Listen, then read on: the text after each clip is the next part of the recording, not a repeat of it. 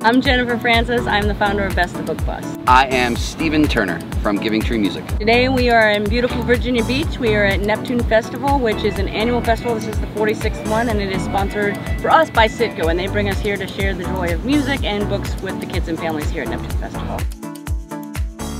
When Jen and Steve get together to give away free books in community drum circles, their program is called Books and Beats. For their fall tour from August 27th to October 7th, 2019, Citgo helped Books and Beats give away books and do drum circles with over 4,500 people, making stops in Frankfort, Washington, Milbridge, and Jonesport, Maine, Nashville, Watertown, and Springfield, Tennessee, Virginia Beach, Virginia, and Greenwood, South Carolina. Here they told us how the tour had been going.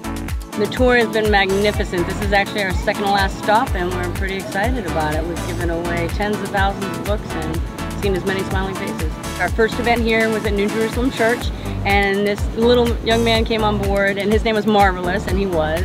As we were talking he said, probably he's a third grader, he said, you know, I feel like I've been here before. And I was like, oh, well, you know, a couple years ago I did the summer camps here and we went to one of the camps and he was like, you ever at Seatack? And I was like, yeah, dude, I was at Seatack. It's an was, elementary school. Yeah, it's a local elementary school. And I thought it was really interesting because I knew there was a third grader from speaking to him at that event, but it turns out we visited his school in kindergarten. So that means a lot to me that it resonated with him, especially at that young of an age, that far back. There's a young young lady who came to drum with us, and she happened to come see us at the uh, festival last year.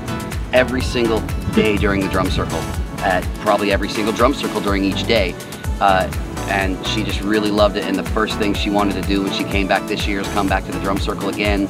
And she drummed with us probably four or five times yesterday, and she's already been with us twice today. Yeah. And uh, and she got doing. her own drum last. And she year. got her own. And last year we actually gave her a drum, and yeah. so it was really special to see her come back. I've been working with Citgo since 2009, and it's just been a wonderful experience because if you'll notice here, their employees and their staff come out and join us. And when I go into like an area where they were when we went to Nashville together, the gentleman we work with there, Mark Reddit, he's already there. So the people in the schools know him, the kids know him. So they are building a community of people that are affected by Citgo's direct outreach. And I think that's the biggest part of Fueling Good is that, that they, they actually do care about the people in the communities that they serve. The fact that they bring us to different places to be able to share this and allow this to be something that they help support, I think matters a lot.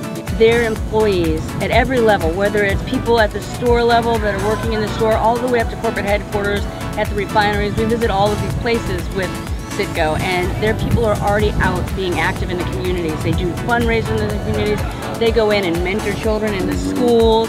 They're just wonderfully giving. What really reaches to me is the engagement that the folks from Citgo and the Fueling Good program that come out to us are willing to to take part in. They yeah. they sit down at my drum circle and they drum. They get out and they dance with kids. They get on the bus yeah. and they help give away books. And to me, it's that level of engagement that sets them apart from anything else. They actually show up. They make it make it a point to be involved. That's that's how you make a difference. Bess of Book Bus is on track to give away over 55,000 books this year. And Giving Tree Music drums with approximately 100,000 kids, adults, and seniors every year. Jennifer Francis from Bess the Book Bus and Stephen Turner from Giving Tree Music would like to thank Citgo for their continued support of Books and Beats as they bring the good of reading and community drumming around the country. Citgo truly is fueling good.